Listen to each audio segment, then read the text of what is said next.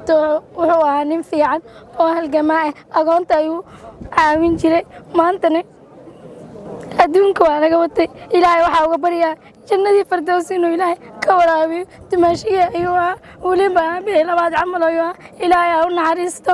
Waxaa maanta idinka codsanayaa. Dhammaantiin inaa u ducaysiin. Haween asaas intaanu ku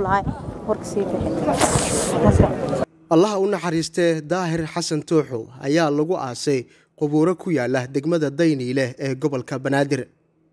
Saakay ayuu ku geeriyooday qarax lagula eegtay degmada dayniile ee gobolka banaadir gaar ahaan waddada laamiga ah ee dhex marta degmadaasi. Dadyow aad u fara badan ayaa ka soo qayb galay aaskiisa. Qaar ka mida dadkii ka soo qayb galay aaskiisa ayaa waxa ay sheegeen in marxuum daahir uu ahaa samafale u adeega dadka danta yar islamarkaana caawiya agoonta. Waxa uu ahaa aasaasihii iskuulka hoose dhexe sare ee dayniile halkani waa iskuulka hoose dhexe sare ee dayniile iskuulkan waxaa aasaasay islamarkaana maamulo guud ka ahaa allaha u naxariistee daahir xasan tooxo oo maanta qarax lagula dilay gudaha degmada dayniile ee gobolka banaadir keliya ma uusan ahayn maamulo iskuul ee waxa uu ahaa samafale caawini jiray dadka aadka u dantayar waxa uu samayn jiray barnaamijyada afurka marka la gaaro xilliga ramadaanka. Waxa uu tabarruci jiray carruurta agoonta. Xilliga dilka loo geysanayey ayaa waxaa la sheegay in uu ku guda jiray aruurinta ama diiwaangelinta carruur agoon ah kuwaasi oo loogu talagalay in la caawiyo. Geerina xatinle ayaa nagu dhacda saakay. Daahir xasan wuxuu ahay nin aad u fiican wuxuuna ahay nin masaakiinta iyo agoonta wax siiyo. Guryo oo noo dhisaa nagu yaalla degmada dhan. Ardayda aan waxba bara jirin oo toban sano muddo ku dhowaado iskoolkan degmada daynile wuxuu ka ahay maamulo guud. Agoontou qori jira wax sii jira hadda soonkii si ay waxay u soomaan u helaan. Agoontou qoraya saddex beri oo soo dheelmaayay laba saac hal saac iyo bar si uu u qoro agoonta oo wax u siiyo. Saaka waxaa ku dhacay qarax. Allah u naxariisto intuu ka geeriyoodo ehel iyo qaraabadiisa ilmihiisa waxaan leenahay sabar iyo iimaan allah naga siiyo. Daahir xasan tooxow walaalkeen waa waa naga dhimayay annaga dhan naga dhintay. Ummadda soomaaliyeed wuxuu ka dhintay sagaal boqol iyo lixdan oo arday oo wax u dhigayay ayuu ka dhintay.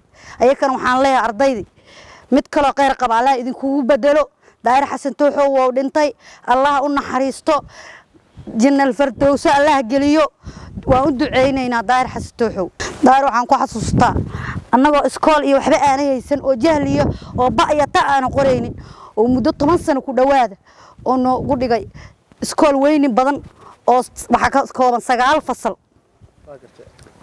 Bacdeen waxaa dhiganaya la yidhi sagaal boqol iyo lixdan arday oo iskugu jiro arday dadaan waxba haysan agoon agoonta guryihii oo u dhisay agoonta goonii u qoraa guryihii u dhisay boosoo u gaday. Bacdeen hadda wuxuu qorayay agoon haddana u soo dheelma jiriya beryahan. Bacdeen maanta geerida naxantin talo xanuunka badan ayaa ku timid daahir xasan tooxow. Waxaan leeyahay jannatul fardowso allah ku geeyo. Daahir. Walaahi wuxuu ahaa nin aada u firfircoon oo maxay ahayd kuleejo carruur u haayey carruur agoon u haayey nin aada u fircoona ilaah u naxariisto.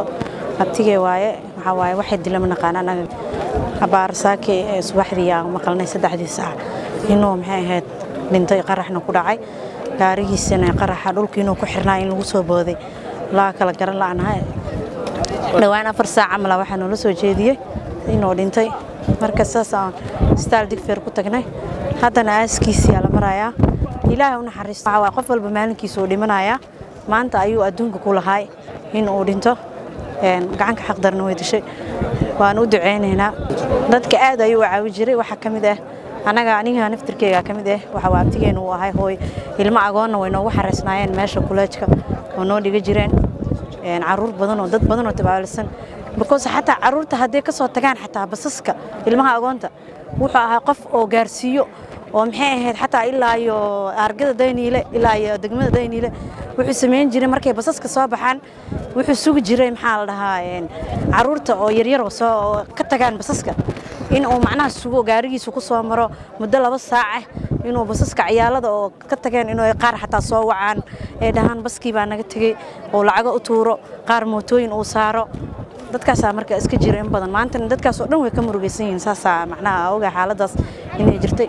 Waa u ducaynaynaa in badan intuu noo haayana waa ugu ducaynaynaa carruurta agoontana waxa waaye ayagana maxaa waaye maanta mid ka qayr badan ilaahay haddana sidoo mid asoo kalaa ilaahay ha u soo ifbixiyo saasaa ugu ducaynaynaa asigana carruurta u ducaynayaan wuxuu ahaa nin fiican oo halgamaa ah agoonta ayuu caawin jiray. Maantana adduunka waa laga watay.